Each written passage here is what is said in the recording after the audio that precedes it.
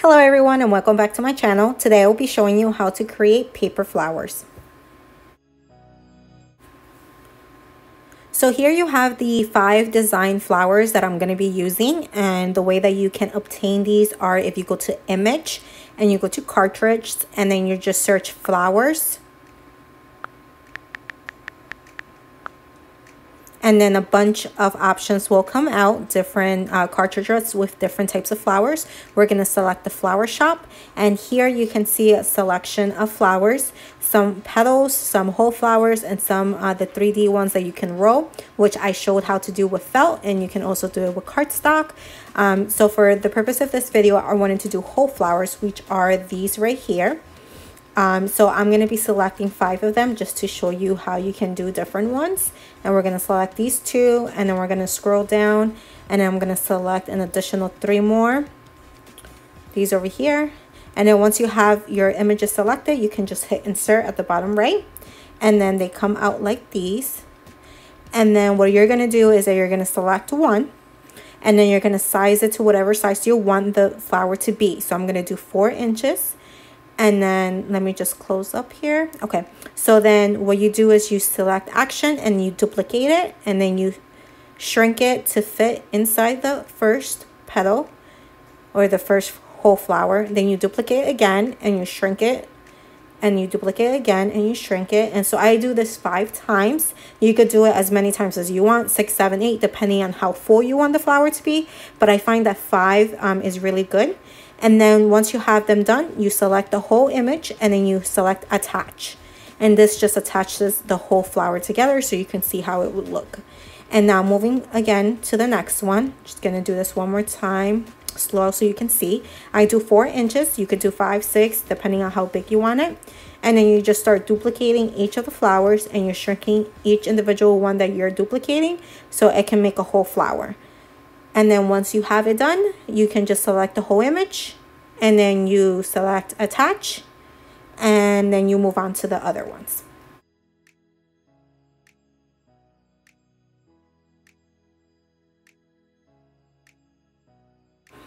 All right, so let me remove these set of flowers so I can show you how to do these. So you're gonna hit make it at the bottom right and but remember you attach the flowers. So what you're gonna have to do is detach them. So select each of the flowers and hit detach. So when you hit make it at the bottom right you can see of them individually placed on the mat which is what you want. So once you have this here you can go ahead and hit continue and then just select your machine. I'm using the maker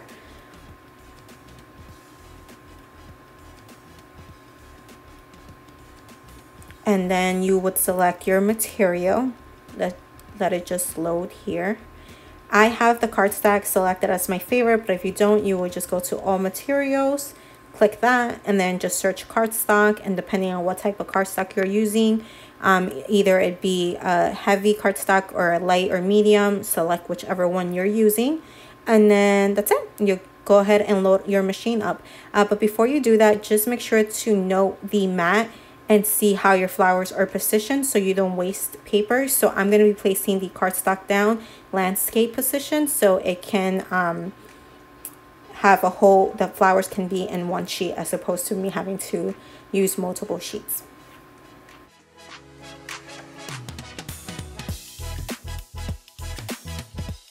Once your machine is done cutting the flowers, you can remove the cardstock and remove each of the flowers. Just keep in mind that the cardstock tends to be very delicate, so just do it slowly when you're doing this. Um, or if it makes it easier, you can flip over the mat and do it this way. I find that this is uh, the best way to do it.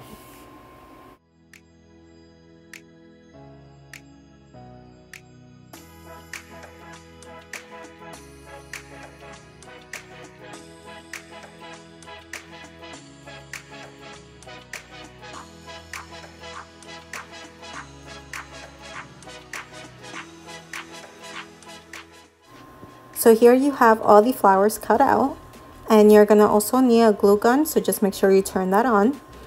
And while that heats up, I'm just to show you how you would have to arrange them. So let's start with this one right here, this pink one. uh, we're gonna grab the biggest one and then you're gonna be placing um, that little flap underneath the next petal like so and you're gonna just put some glue at the bottom and then you're gonna do that for all of the other ones just like this. And then you're just gonna stack them up. So I'm gonna show you this but I just wanted to kind of give you an overview of them. All right so now my gun is heated and then all you do is you put a little bit of glue on this portion right here. And then you attach the petal over it like this. Just make sure it presses down evenly. And that's it. It's pretty simple easy. And then now you do the same thing for the other ones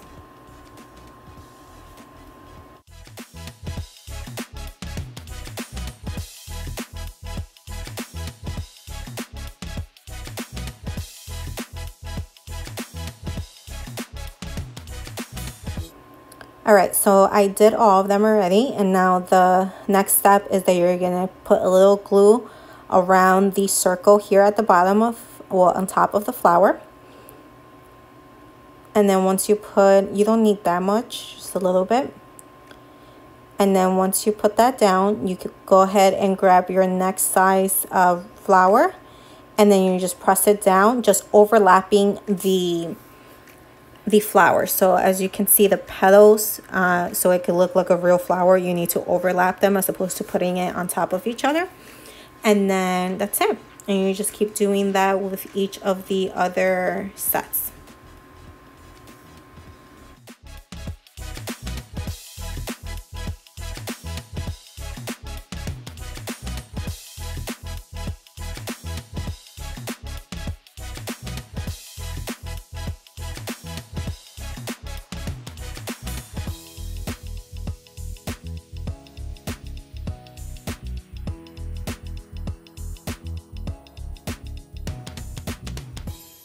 And here you have the final five flowers that I did.